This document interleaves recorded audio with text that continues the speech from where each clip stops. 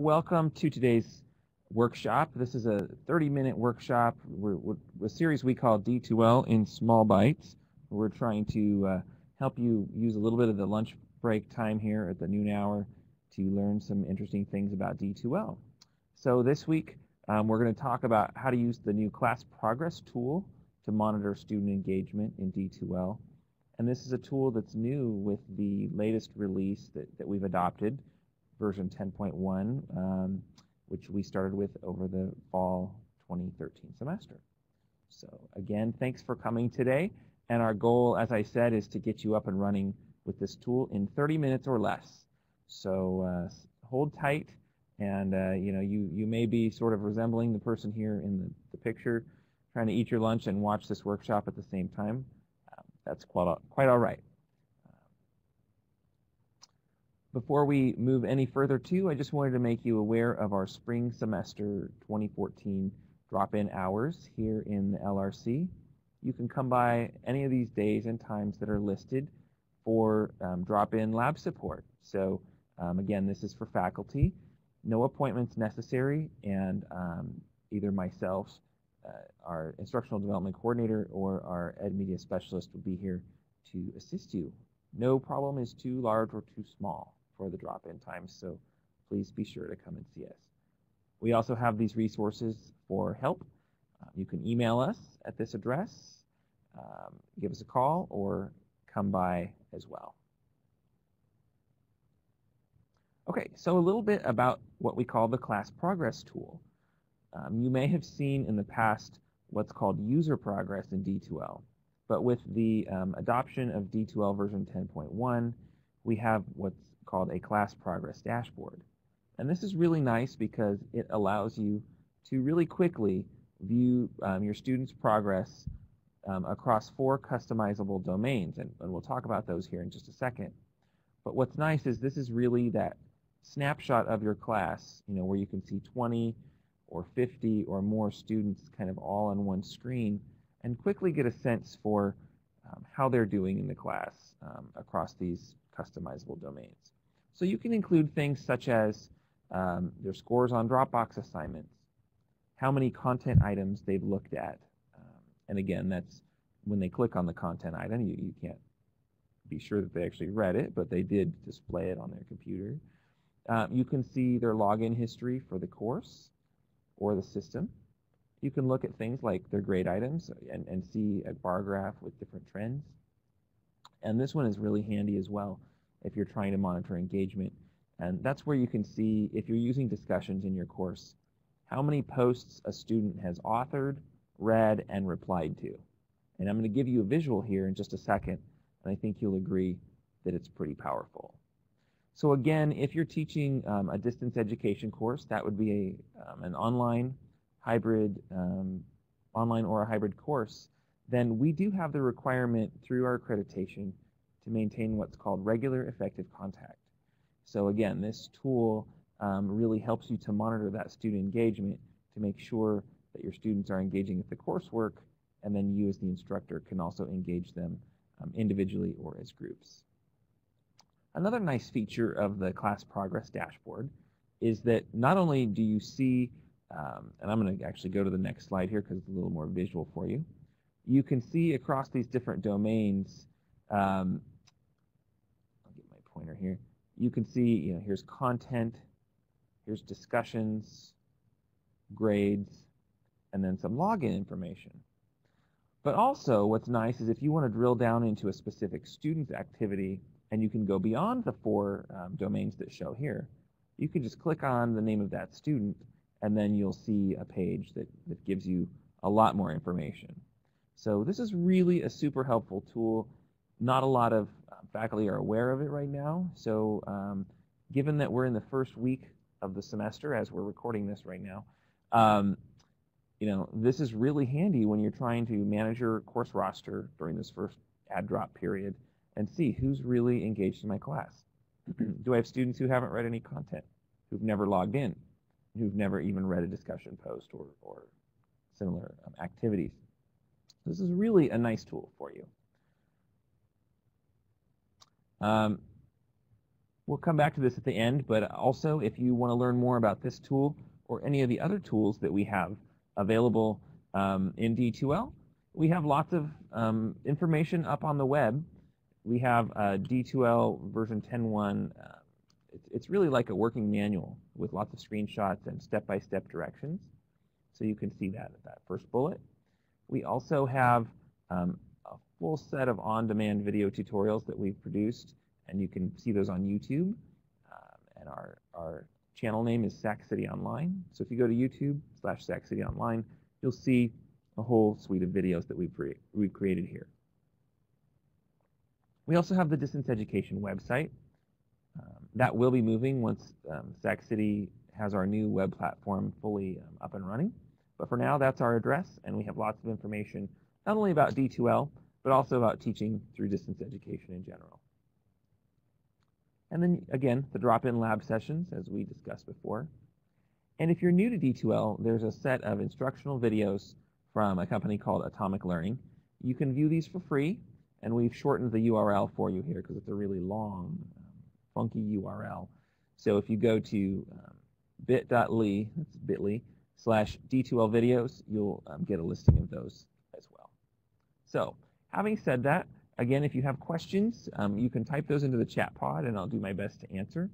But let's go ahead and jump into D2L and, and we'll take a look at this in a little bit more depth. Right, so now you should be able to see uh, that D2L screen. I'll just make it a little bit bigger for you here. And so here we are in a um, a D2L course. It's just a um, standard course that we use, and um, we're on the home page. What we need to do here is um, to access that, that um, class progress dashboard is we're going to go through edit course. And of course, you're used to going to edit course to uh, make lots of changes to your course, the home page, the, uh, the navigation bar, etc. We'll click edit course and here you can see um, that you have a list of tools and they can either be sorted by name or by category. By default, most people have it set up to, to list by category. Um, but what we're going to look for is called, it's a little bit misleading here, um, but it's called, where did it go? I'm used to the other, uh, other setting. Let me go back to name. View user progress here. Um, so even though you're going to see class progress, they haven't quite updated this link title, um, but view user progress is what you're looking for. So you can find that easily in alphabetical um, sorting mode. And if you are in um, category mode, it's here under learner management. So we'll click view user progress. And by the way, this is just a sample class, so you may see some, some names in here, but the individuals um, the scores do not reflect their real actual effort or work in this course. So this is the dashboard itself. Um, so you can see I have a listing of students here, and I've set this one up to show me um, the four domains. First, I have content. So students who go to the content tool, how many items have they visited out of the total? Right. So currently I have 50 items available. If I only had 10 items available, then you'd see how many they'd visited out of 10. So my first student here, you can see, has visited 88% of the content, which is actually pretty good. Um, we can look next door on the discussions domain and see how this individual is doing on discussions. And you can see, wow, you know, already read 102 discussion posts. That's fantastic. Um, has posted four times and has replied to someone one time. So I would expect this student um, to be very engaged in the course uh, at this point. They're looking at the content, engaged in the discussions. Um, but look, we have a little issue. There are two Dropbox assignments that have been made available in this course right now. And this student, for some reason, has not completed any of the Dropbox assignments. So that might be something I'd want to follow up on um, particularly over time if I start to see a trend happening there. Um, we also have um, grades as the next category. And so you can see what's interesting here is, again, this student seems pretty engaged in content and in discussions, but I had some flat lines on grades and then, then some top ones here. So one of my favorite features about the class progress dashboard is actually you can hover and you get live updates for each of these items. So you can see as I move my mouse, I'm seeing the, the um, grade items and the scores that the student got. So these, these three green ones look pretty good. Let's see what this low one here. Uh, we had a low attendance score. Um, and of course, that would probably be retitled participation these days, but um, this is from an old class I was looking at. And, um, and then here's a quiz. Oh, got a zero on a quiz and a zero on, on the course outline, which was actually one of those Dropbox um, assignments, and a zero on the plagiarism plan, which was the other Dropbox assignment. So again, um, just by looking on this screen, I can see um, what the grade history is. I can see that there's a little problem with getting those Dropbox assignments in. And uh, if I wanted to dig a little bit deeper, I can just click on the student's name and poof. Um, I now have um, class progress progress for this particular individual. So um, looking at the summary here just a little bit, you can see that I can sort by the last seven days, the last 30 days, or all time. So um, again, I said this was an older um, class I'd set up. So there's actually no one has any activity for the last seven or probably 30 days in here. So I'm going to leave it on all time. But just know that um, particularly this this week and next week, as you're in that first week or two of the class, um, this is a great way to filter out those who are actually really attending your class and those who may just be hanging out on your roster. Now, a couple other things I want to point out. We're here on this summary page, and you can see I have grades, content, discussions, scroll a little bit, Dropbox, um, quizzes, and again, you can expand these as you, um, if you want to see more detail. So like the five messages, I can see um, the messages here. And then um, I have checklist, and then also the login history. So here I can see that this individual logged in, you know, 52 times, and uh, I can see the differential between the system access, like when they actually just logged into D2L in general, versus when they last accessed the course. So again, um, pretty handy to have this information. Um, I can actually go to the settings page here. I click settings, I can toggle these indicators on or off. So you know, I'm not really using a checklist in this course, so I'll turn that off. Um, and I'm not really using surveys or objectives, so I have those turned off as well. I can also change the threshold and the color for the um, progress indicators that we saw on that um, class progress page. So in this case, I've chosen to give what I look like a, a green light to students who are at 80% and above. And if I have some concerns about a student, I'm making that 65 to 80%, and then at risk is 0 up to that 65%. So you could redefine those any way you want and, and customize those. I'll go back to the screen here. And um, you can also email the students directly from here. Or um, it says send an instant message. If you sent that message, they would get a little notification up here in the um, notifications area. So email is probably the better, better choice for you. Um, I can also page through students, so I can click on my next student if I want to do it that way. And once again, I can drill down into the detail for this student's activity. Still, I have those live previews here of the different assignments and the different scores. So that's really handy. And also, I can dig deeper over here on the left-hand side. So if I want to see just a grade report, for example, I can click on grades. And once again, I have way more information than I've ever had before um, in terms of the visualiz visualization of these grades. Content is perhaps where this is the most handy, I think. So if I click on the content tool, I can see um, the different modules here and the different topics. So um, for example, if I go to um, the introduction piece, I can expand these four topics within that module and see, okay, this person has visited these first three because I can see the check marks, but the circle indicates that they never visited this last topic. So again, if you're trying to diagnose what's happening with a student in one of your classes, why they might not be doing as well as they could, you have a lot of power here in this um, tool. Um, discussions progress also gives you the same um, breakdown. So I can see not only how many messages in general um, they've read, authored, or replied to, but I can see within each forum how many um, they've done within those topics. So for example, that 104 looks really impressive until I realized that 48 of those that were read were in introductions. That's great, but I might have wanted them to read um, something in a different section instead. So um, you have a tremendous amount of power to drill down within um, this tool here. Um, the Dropbox is similar. I note that I said there were two Dropboxes available. So um, we have 50% submissions, one out of two assignments turned in. The first one, or the one that was turned in, is this course outline. And I can just click details here to see um, my feedback and to see that actual assignment as well. So pretty handy um, to have. So that's how you could dr um, drill down on the individual student progress.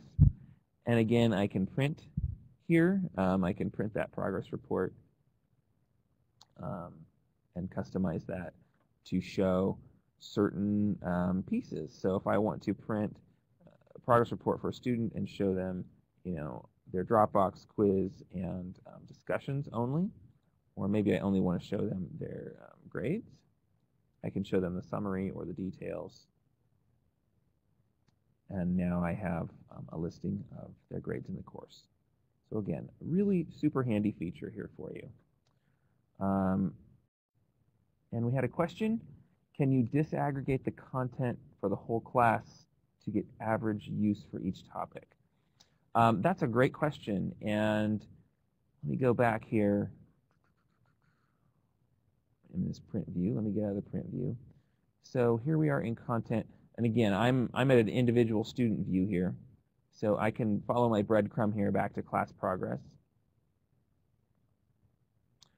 And um, here it's really going to show me uh, more of the breakdown by user. So even if I click on a, a on a report here for the user, I think that's going to take me right back.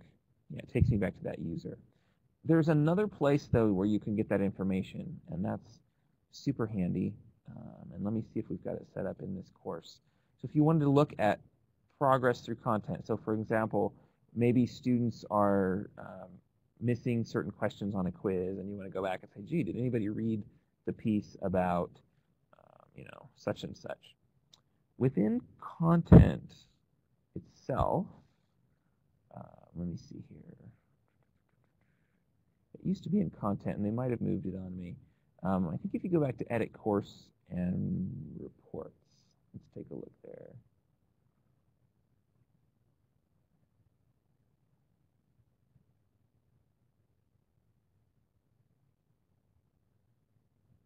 It was a good question.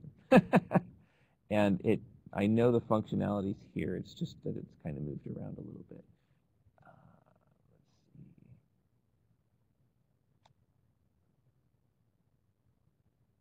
Maybe here. There we go.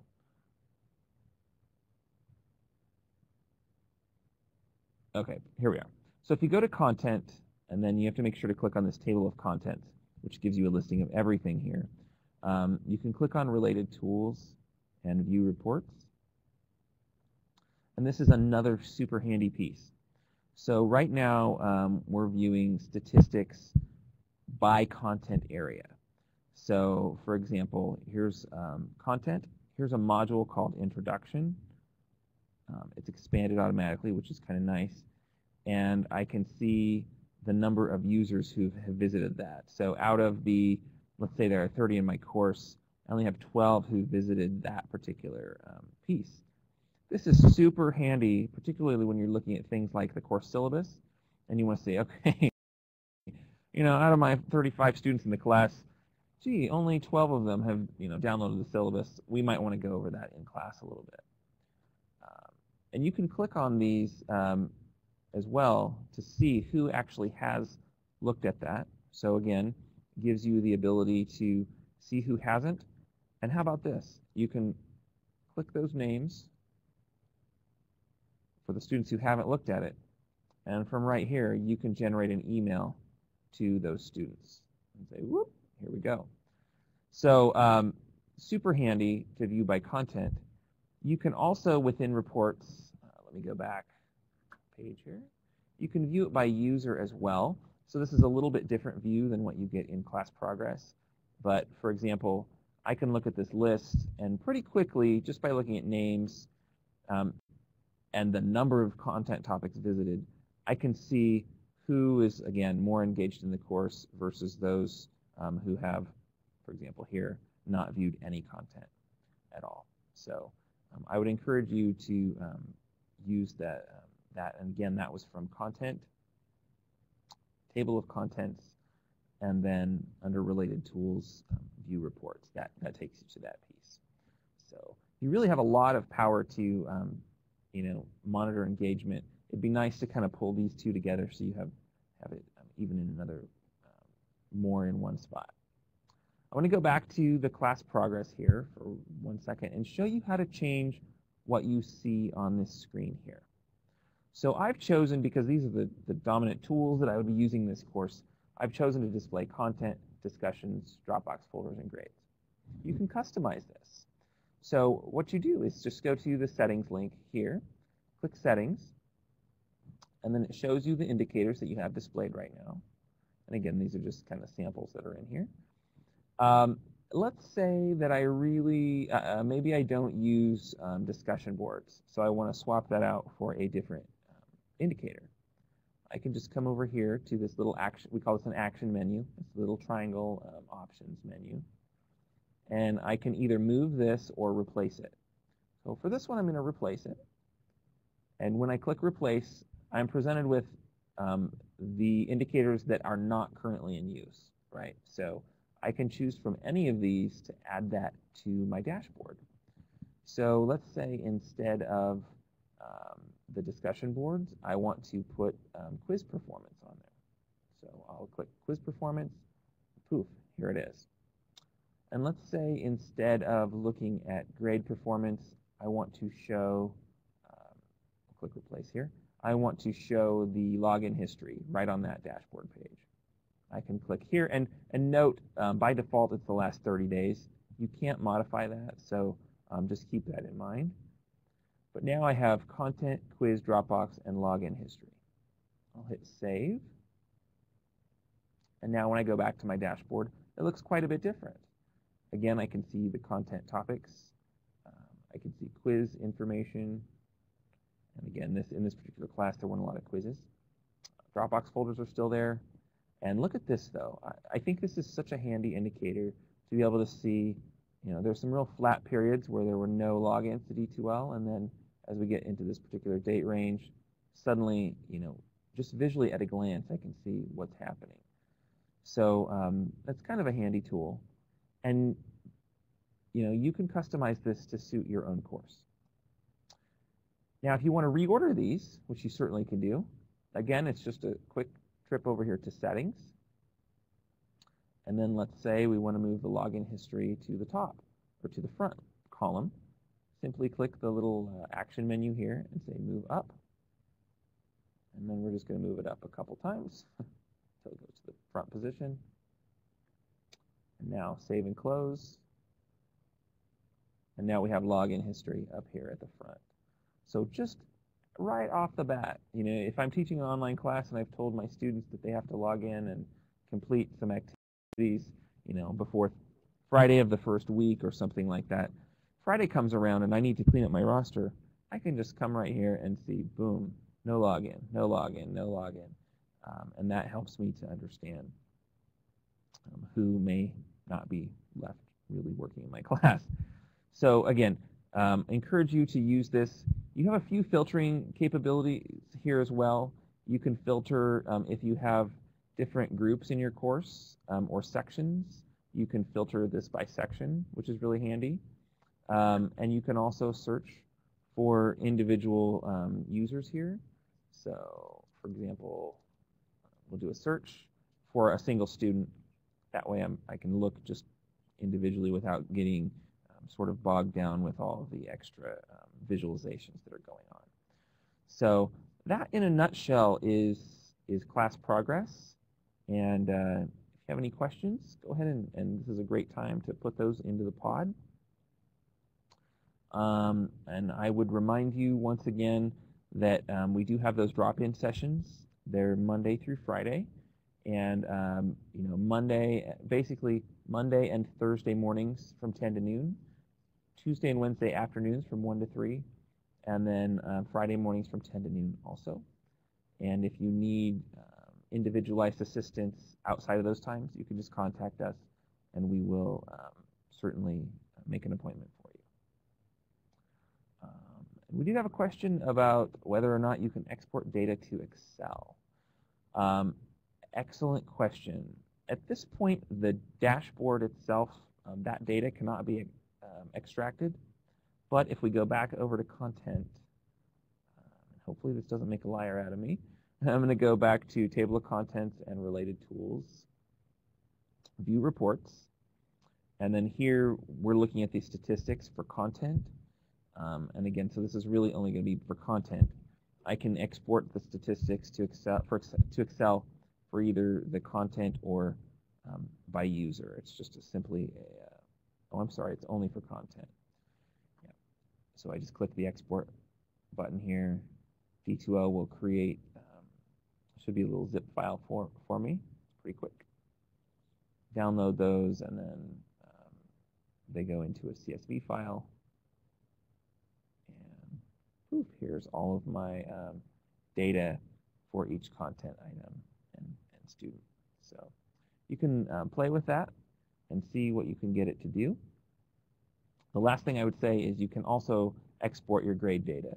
So if you want to go to grades, um, there's an export button here where you can pretty much do the same thing. Um, you can choose which ones you want to export and which details you want to send with that.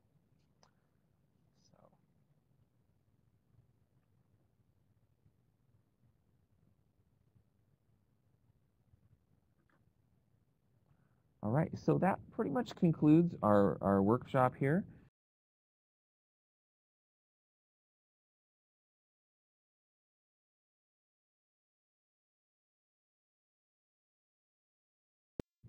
And um, if you have any questions, please do be in touch with us. And uh, again, let me pull up, the, there's our drop-in lab hours and the ways to reach us. And hope you had a great session, and we'll see you back next week.